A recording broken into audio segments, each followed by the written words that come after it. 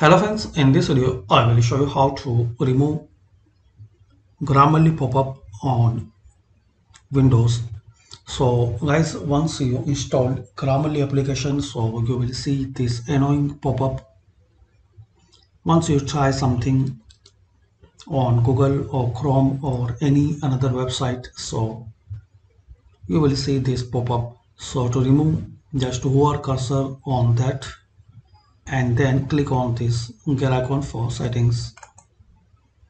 Here you will see some options like turn off suggestions on particular site and also you can turn off suggestions on particular site for one hour.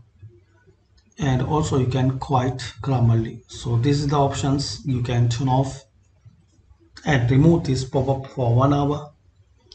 And permanently and also you guys you can quiet for this time.